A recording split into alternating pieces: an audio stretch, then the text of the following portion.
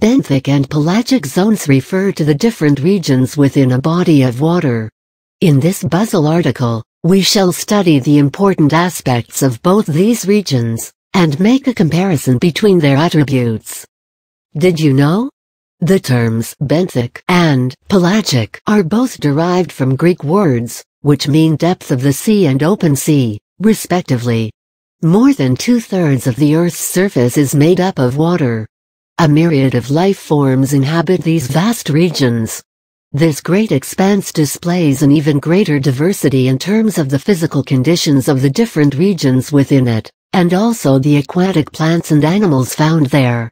Any venture to study this immense ecosystem must therefore first be made with a proper classification. Almost any body of water can be subdivided into two zones, the benthic zone and the pelagic zone. These zones are present at different depths within the water body, and display several distinct and unique characteristics.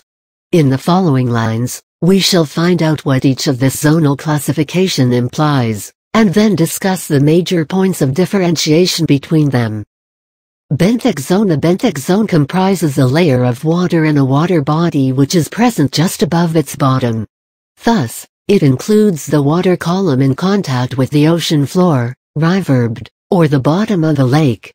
Depending upon the depth of the water body, the location of this zone can be anywhere from a couple of feet below the surface, in case of shallow rivers, to thousands of feet, in case of large oceans. As such, a lot of diversity exists in the living organisms, called benthos, that inhabit this in the oceans. The benthic zone is often present so far below the surface that sunlight isn't able to penetrate the large column of water above and reach it. Because of this, organisms capable of photosynthesis are not found there. Also, the sheer volume of water above this zone exerts an immense amount of pressure on it. This has resulted in specific adaptation in benthos, which allows them to survive there. Because of the lack of light, Benthos cannot produce their own food, and hence, for nourishment, they have to rely on the organic matter that drifts down from the layers of water above the benthic zone. Pelagic zone The pelagic zone comprises the upper layers of water, including the topmost layer which is in direct contact with the atmosphere.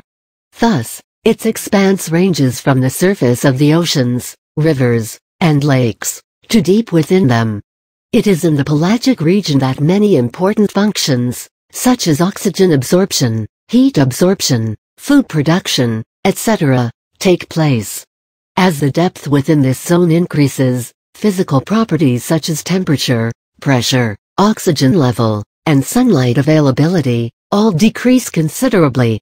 Therefore, the pelagic zone is further divided into a number of subzones, the epipelagic zone, up to 200 meters deep the mesopelagic zone, 200 meters to 1000 meters deep the Bathypelagic zone, 1000 meters to 4000 meters deep the abyssopelagic zone 4000 meters to 6000 meters deep the hadopelagic zone. Below 6,000 meters deep pelagic regions are rich in resources required to sustain life. Therefore, most of the ocean life is found there. The great diversity of this vast region is reflected in its flora and fauna, and as such, many different species of aquatic plants and animals thrive here. Thanks to the availability of sunlight and oxygen in abundance, especially in the epipelagic zone, many photosynthetic organisms are found there. They convert the energy from the sun into nutrition via photosynthesis. It is this nutrition that forms the first link in the aquatic food chain, and is therefore responsible for sustaining the entire ocean life. Benthic versus pelagic zones. Comparison The following are the major points of distinction between the benthic and pelagic zones. Types of organisms The higher regions of the pelagic zone, such as the epipelagic zone, receive an abundance of sunlight, and hence, organisms capable of photosynthesis are found there.